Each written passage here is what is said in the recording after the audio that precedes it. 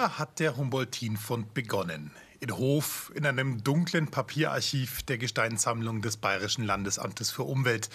Bei der Digitalisierung der Unterlagen taucht ein alter Brief auf.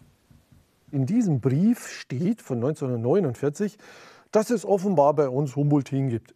Ich, ich kannte das Kristall gar nicht. Ich wusste gar nicht, was Humboldtin ist. Und dann war es ja klar, dass wir uns auf die Suche nach diesem seltenen Mineral gemacht haben.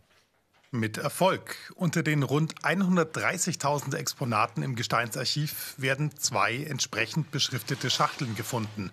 Sie stammen aus dem ehemaligen Braunkohlerevier Matthiaszeche im Landkreis Schwandorf.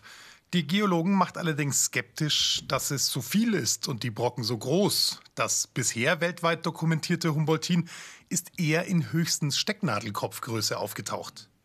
Wir haben tatsächlich aus Schwandorf wir haben, glaube ich, die gesamte Menge, was es an Humboldtin auf der ganzen Welt gibt, haben wir auf einen Schlag verdoppelt. Deswegen mussten wir es auch erst mal analysieren bei uns im Labor in Marktredwitz, ob es denn überhaupt Humboldtin ist und nicht irgendwas anderes.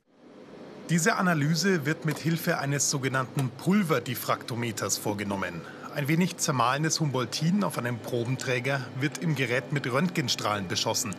So können die Forscher für jedes beliebige Mineral sozusagen einen individuellen Fingerabdruck erstellen.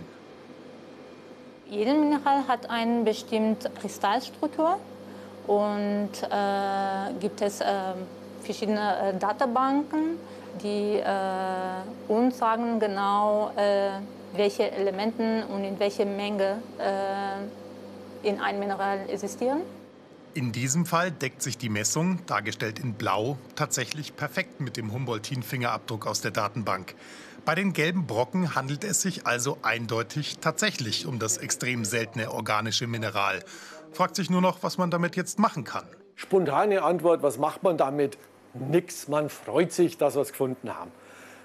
Aber weil wir doch jetzt eine gewisse Menge haben, immerhin so eine Handvoll, dann haben wir jetzt die Möglichkeit, es der Wissenschaft zur Verfügung zu stellen. Die ersten internationalen Interessierten gibt es schon. Die Universität Kopenhagen in Dänemark hat eine Probe des Humboldtins aus der Oberpfalz zur näheren Erforschung angefragt. Vielleicht kriegt man dort auch raus, wozu man das Mineral gebrauchen kann.